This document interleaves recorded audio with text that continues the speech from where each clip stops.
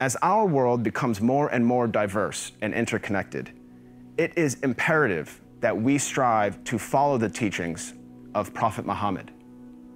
I am not a Muslim myself, but I have to say that I am deeply inspired يفتتح الدكتور كريغ كونسيداين الجزء الثاني من مقاله المنشور في مجلة نيوزويك الأمريكية في السابع عشر من مارس من عام 2020 عن حكمة النبي محمد صلى الله عليه وسلم في التعامل مع الأوبئة كوباء كورونا فيروس قائلا.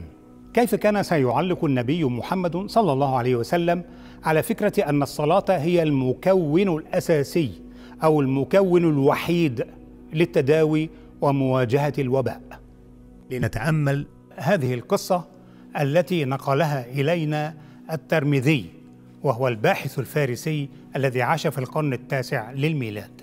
قال في أحد الأيام رأى النبي محمد صلى الله عليه وسلم رجلا بدويا يترك ناقته دون أن يربطها. سأل البدوي لماذا لا تربط ناقتك؟ أجاب أنا أتوكل على الله. فقال النبي صلى الله عليه وسلم اربط ناقتك أولا ثم توكل على الله. وفي نص الحديث المروي عن أنس بن مالك رضي الله عنه أن رجلا قال يا رسول الله أرسل ناقتي وأتوكل أم أعقلها وأتوكل؟ فقال بل اعقلها وتوكل.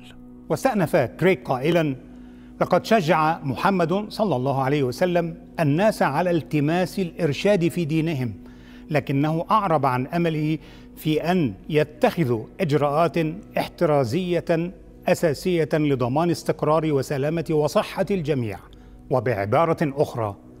فقد كان يأمل في أن يستخدم الناس عقولهم وفطرتهم السليمة. انتهى مقال الدكتور كونسيداين هذا هو الدكتور كريغ كونسيداين من الربع الأول من الألفية الثالثة للميلاد.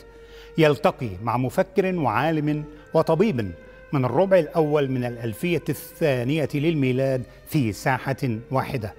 فقد تعلم كلاهما واستفاد من الهدي النبوي العملي الكريم في مواجهة الأوبئة. ها هو الطبيب المسلم ابن سينا. يطبق كل ما تعلمه من هذا الهدي النبوي. فيما يتعلق بمفهوم الحجر الصحي والتباعد الاجتماعي إلى حد الدعوة إلى الصلاة في المنازل عوضا عن صلاة الجماعة في المساجد.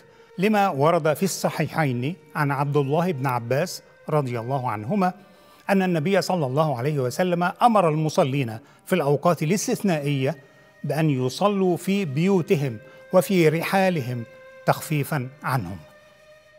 وليس هناك زمن استثنائي أكثر خطورة من وباء منتشر في الأرض.